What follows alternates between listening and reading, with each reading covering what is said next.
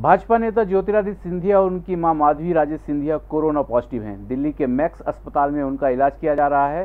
अस्पताल ने ही उनके कोरोना पॉजिटिव होने की पुष्टि की है। भाजपा की ओर से राज्यसभा चुनाव के लिए नामांकन भरने के बाद ज्योतिरादित्य सिंधिया भोपाल से दिल्ली चले गए थे। इसके बाद वे लॉकडाउन के दौरान दिल्ली में ही थे। माना जा रहा है, वे दिल्ली में किसी कोरोना संक्रमित के संपर्क में आने से इसका शिकार बने हैं।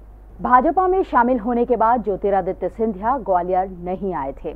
उपचुनाव को लेकर चल रही तैयारियों के लिए भी समर्थक उनका इंतज़ार कर रहे थे। ऐसे में खबर आती है कि ज्योतिरादित्य सिंधिया और उनकी माँ, माधवी राजे सिंधिया, कोरोना से संक्रमित पाए गए हैं। जानकारी के मुताबिक लॉकडाउन के दौरान सिंधिया स्वास्थ्य ठीक था। वे इस दौरान फ़ोन से अपने समर्थकों से संपर्क में भी बने हुए थे। एक दिन पहले ही उन्हें तबियत बिगड़ने के बाद मैक्स अस्पताल में भर्ती करवाया गया, जहाँ उनकी कोरोना जाँच की गई, जो पॉजिटिव पाई गई।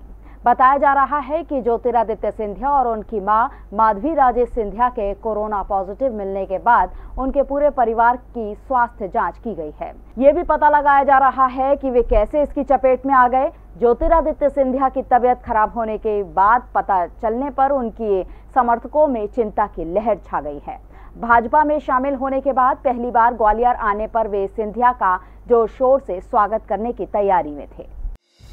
संगीत की स्वर लहरियों से सांस्कृतिक ताने बाने तक चंबल के पीड़ों से नक्सलवादियों के गढ़ तक झोपड़ी से महलों तक ठेलों से मेलों तक पगडंडियों से सड़कों तक गाँव से शहरों तक व्यापार से उद्योगों तक। राजनीति से कूटनीति तक। दखल न्यूज़। आपके हक